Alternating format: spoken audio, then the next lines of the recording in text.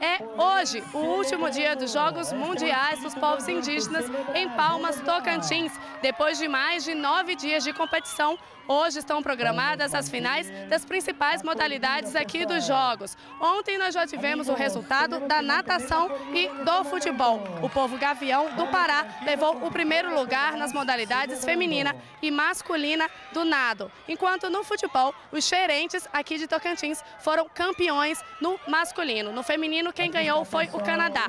E olha, eles ganharam medalhas bem diferentes. Elas são feitas de madeira e capim dourado, que é típico aqui da região, e foram fabricadas por um artesão local. Elas também têm uma bolinha com água, que é do rio Tocantins.